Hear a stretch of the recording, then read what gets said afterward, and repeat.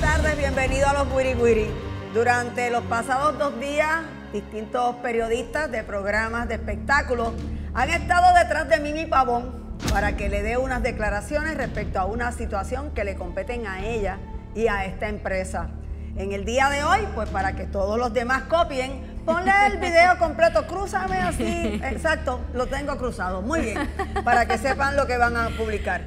Mimi, ¿cuál ha sido la situación de que han estado detrás de ti una serie de periodistas, básicamente porque te negaste a que saliera una entrevista que tú habías dado a una persona. ¿Qué fue lo que pasó? Cuéntale pues mira, eh, Obviamente quiero aclarar de antemano que aquí todas las partes envueltas. Hay muchas personas que están tratando, ¿verdad? Quizás de llamar la atención acerca de este asunto que no tiene nada que ver y aquí los que estamos integrando todo lo que compone esa entrevista era Chente, que, fue el que le dijo a un amigo que tenemos en común que, me, que si podía llegar. Eh, lo primero es que a mí se me notificó ese mismo día una hora antes, así que yo no pude hablar con el equipo de trabajo mío, te soy muy sincera, nunca había visto ese tipo de, programa de, que hacía él, sí había escuchado muy sobre fuerte. él, pero también él hace unos podcasts y yo creo que yo respeto muchísimo su trabajo. Esos chicos me trataron estupendo a mí y por eso digo, o sea, entre ninguna de las partes hay un problema. Son estas personas que a veces tratan de aprovechar esas situaciones para crear discordia y crear algún tipo de, malentendido. Y pues mira, después que terminamos la entrevista, yo, como te digo, me notificaron una hora antes, yo no pude dialogar con mi equipo de trabajo que se encarga de manejar muchísimos asuntos, contratos que están envueltos en desarrollo ahora mismo, que responden a mi imagen. Y cuando yo salí, pues yo le expliqué, mira, pues fue esto, esta dinámica, y me dijeron, mira, sabes que esto va a ser un problema Obviamente también pues hablé aquí con muchos de ustedes y pues también me dijeron lo mismo, mira, en la medida que sea posible, pues trata de discutir de qué forma entonces se puede eh, filtrar esa entrevista o se puede trabajarla. Y ahí muy respetuosamente, tanto Chente como los compañeros pues respetaron mi decisión y estoy muy agradecida de eso porque otra persona, otros programas hubiesen aprovechado para sacarle punta a esto y ellos sin embargo pues han respetado pues el pedido que yo le hice.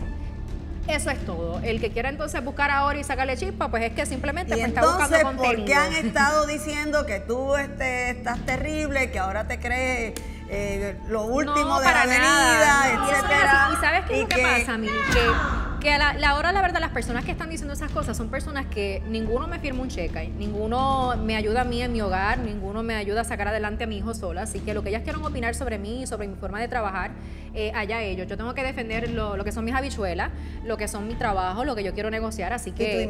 Y, y mi imagen, sobre todo. Eh, y vuelvo y repito, estoy agradecida de los chicos, no tengo ninguna queja. Yo me disfruté, obviamente, y ese es su estilo y los respeto muchísimo. Y por eso, otra vez digo, agradezco muchísimo que ellos entendieron mi punto y que hoy día pues podamos tener una buena relación contraria a lo que quizás otras personas están tratando, ¿verdad? De, crear una animosidad entre nosotros. ¿Por qué tú crees que, es eso? ¿Porque tú no le tiras piedras al árbol que no tiene fruto? María, pues no sé, no sé, Mili, ¿qué tú crees?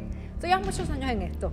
Pero no, yo no sé. O sea, ahora te digo yo, yo también te tiré a ti en un momento determinado cuando eras mi San lo tengo que recordar. Oye. Y, y, 20 años después me dijiste que yo te había pelado. Y aquí estamos trabajando juntitas. no, pero mira, tú sabes que. Yo, también, yo también tengo que decir algo. Eh, Mimi Pavón y Jackie Fontane son las animadoras de este programa.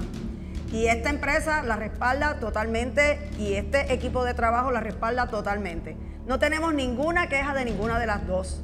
Y cualquier chisme que haya por ahí, es mentira. O sea, aquí esto es una familia completa y tanto Luisito Vigoro como todo el resto del equipo nos llevamos súper bien. Así que el que quiera decir otra cosa, nosotros siempre vamos a cuidar a Mimi, siempre vamos a cuidar a Jackie. Vente. vente Jackie para que le tires dos o tres. ¿Qué? ¿Qué? Tírale dos o tres, Jackie.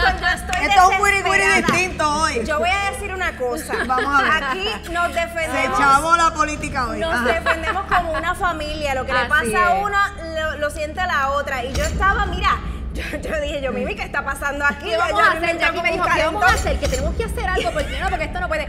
Pero es lo que te digo, o sea, y se lo comenté a Jackie ahorita, qué pena que muchísimas veces nosotras nos pasan muchas cosas buenas y sin embargo no recibimos la visita de esos programas de televisión aquí a preguntarnos sobre las cosas buenas que nos pasan y las cosas positivas.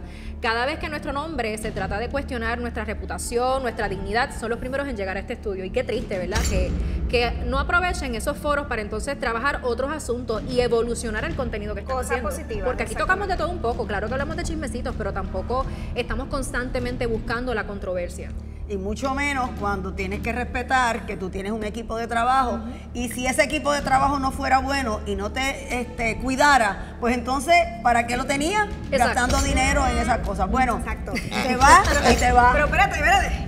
Eso es para los que sigan en el chisme. Bueno, gracias. Aclarado pues.